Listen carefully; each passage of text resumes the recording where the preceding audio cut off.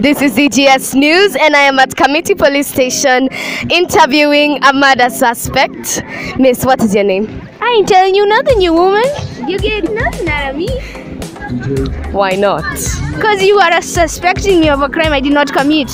What do you mean a crime you did not commit? Why else are you here? Because I'm in a prison and I don't know what crime I committed. They're accusing me falsely. Uh, you committed murder, if I'm not wrong. Did not kill anyone. They have accused me falsely and I want to go home. Uh, hello? Tell that to court, because I'm not sure anyone's going to approve of that. I'm sorry, but I have. I may have witnesses. As a matter of fact, I was not there at the scene of the crime. So, what exactly happened then?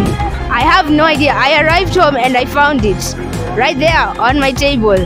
I just arrived and I found his body there. I, I tried to call 911. I was trying to help him. And then my neighbors called and then they came and they thought I had murdered him. That's what every suspect says. But I'm innocent, I swear. What will tell us the complete truth?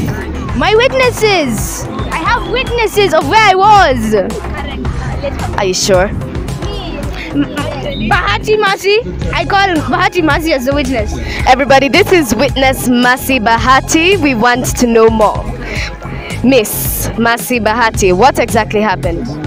Um, I don't know, but she was. I was with her at a club, and then Whoa, whoa, whoa, whoa, whoa. A club. yeah. No, we were at a party. A party, but I just call it a club. How sure are you it's not a drinking club? I don't do smoke. I don't do bang. I don't drink. You sure? Yes. Anyway, continue. Then I uh, then I took her back to her place. Then we found the body on top of her table, as she said. So, how did you know that there was a body on her table? I saw, and you can also ask the neighbor. What on earth were you doing in her house, eh? I was escorting her Why exactly? because she had my deni. Okay, we have another witness who is her neighbor. Miss, what is your name? My name is Jasmine. I came into the house. I saw Karen standing over the dead body. He was she was looking at him. She had blood all over her hands. And then and then and then I just I just I just couldn't. And then, and then Mercy just came in. She just looked she was carrying his hands away into the dustbin. So, what do you say? Did she did she really commit the crime? yes, she did. How sure are you?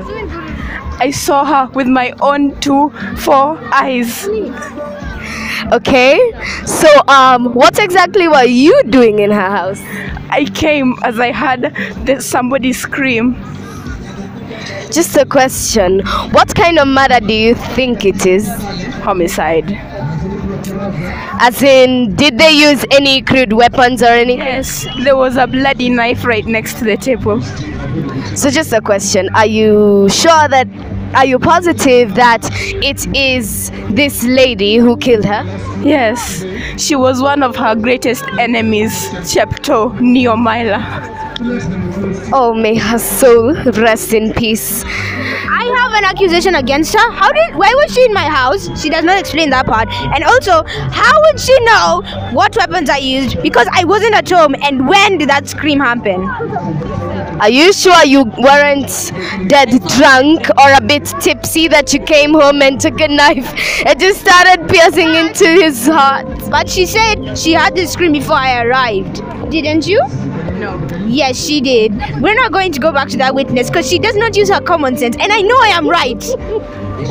Okay, so who do you think is the murderer?